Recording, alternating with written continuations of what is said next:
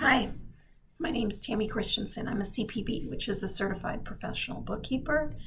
And in this video, we're about to walk you through the steps on how to set up Interac Auto Deposit for those e-transfers with your BMO account. Stay till the end to make sure you don't miss an important step.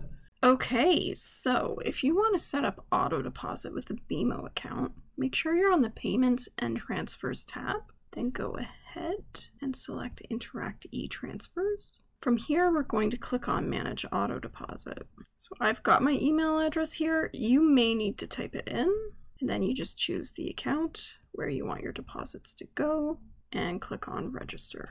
Okay, it's almost done. You have to check your inbox. There's an email you're going to get where you have to confirm that this is what you're doing. Until then, you'll see that status is pending. Okay, so here's that email that's been sent to me, and I'm going to click on the complete registration button. And the good news is my registration at CIBC has automatically been canceled. I hope that helped. If you found this video useful, give it a thumbs up so that other business owners are able to find it. Feel free to hit the subscribe button if you're looking for more tips on how to make your business less stressful to run.